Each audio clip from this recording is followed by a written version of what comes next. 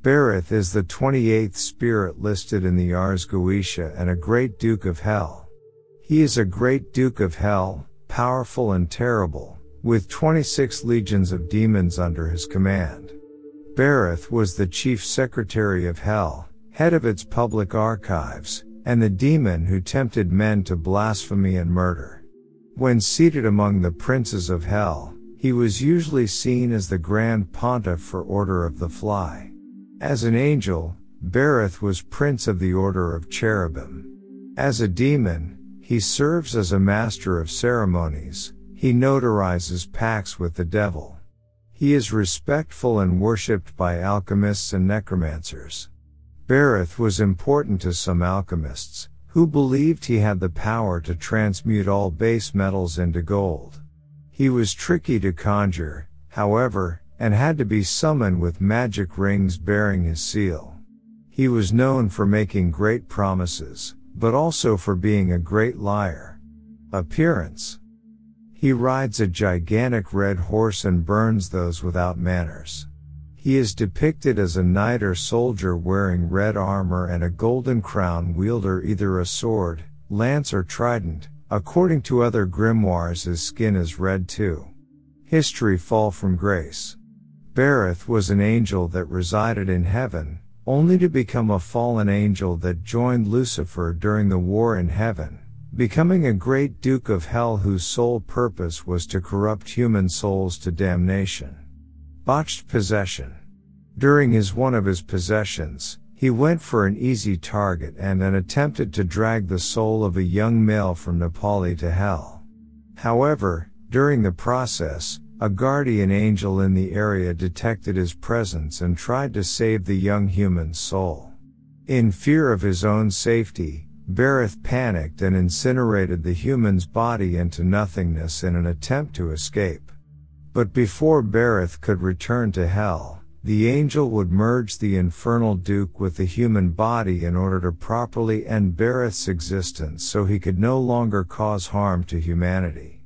Berith instead was able to absorb the remaining human essence before entering hell, devouring it in the end. False Canaan God. Berith was also worshipped as the patron god of the city of Canaan. He was beloved by all of his people, so much so that they made small figurines of him and carried them around, occasionally pulling them out to kiss them as worship. He was even more popular than the kings of the region. When his subjects in the area began rebelling, King Abimelech of the Philistines destroyed Berith's temple and banished any worship of him. Those who continued to worship him were persecuted and became considered idolaters. Thus, his once good name became demonized by those who wanted control of his city and people. It seems he took offense to how quickly his own people turned their backs on him and seems to have great disdain for the organized religions that followed his downfall. Prophecy After the slave uprising in Pandemonium, several demons attempted to enter to the mortal world. Berith was one of such that seduced a mortal named Trent to become his vessel. Ashley Strode prevented him from fully crossing over and sent him back to hell. Personality. Berith is interesting demon. He can be spiteful, hostile and detached but at the same loyal and chivalrous. Berith takes pleasure in his purpose corrupting the strongest willed and arrogant of humans, also enjoys being alone and drinking the blood of doves. Hates most humans in general but mostly those who believe themselves to have power. He was also quite a voluble sort, according to the admirable history written by Father Sebastian Michaelis in 1612. Berith once possessed a nun in Aix-en-Provence. In the process of the exorcism, Berith volunteered not only his own name and the names of all the other demons possessing her, but the names of the saints who would be most effective in opposing them. It seems that Lord Berith has a bit of history with the kings and churches that came after his time. Power and abilities. Berith has superhuman abilities such as agility, strength, fire manipulation, and his main power he used in spirit form perspective manipulation. He uses this power by creating illusions to corrupt humans to sin by simply altering one's view on situations. He gives true answers to all things past, present and future as long as he is asked, but when not answering questions is a liar. He can turn any metal into gold, give dignities and confirm them. Lured by a handsome reward, he will ensure that great public dignities and manifold riches are bestowed upon the conjurer. Finally, he possesses the rather singular power or lending clarity of sound and ease of elocution to the voices of singers.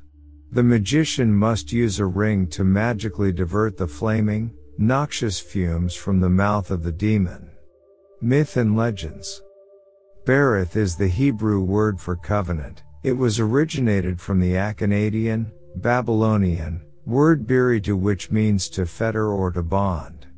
Baal Berith was a form of Baal worshipped in Berith, Beirut, Phoenicia. He is also called Beel, Berithi, Bofri, Bolfrey and Bolfrey by necromancers. In alchemy Berith was the element with which all metals could be transmuted into gold, surely derived from the name of the demon Berith.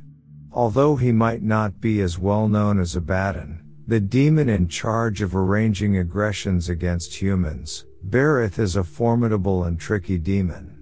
Serving a dual role as both the Duke of Hell and Satan's secretary, he is responsible for a variety of tasks, including formalizing Satan's pacts with mortals. In Le Trésor d'Albert Petit, a method of conjuring him under a form resembling can be found. On a Monday night a black chicken is bled at a crossroads. One must say, Berith will do all my work for 20 years and I shall recompense him. Or else one may write the spell on a piece of virgin parchment with the chicken's blood. The demon thus evoked will appear the same day, and put himself completely at the conjurer's disposal. But after 20 years, Berith will claim his reward for services rendered. Original text from the Ars Goetia. The 28th spirit in order, as Solomon bound them, is named Berith. He is a mighty, great, and terrible duke.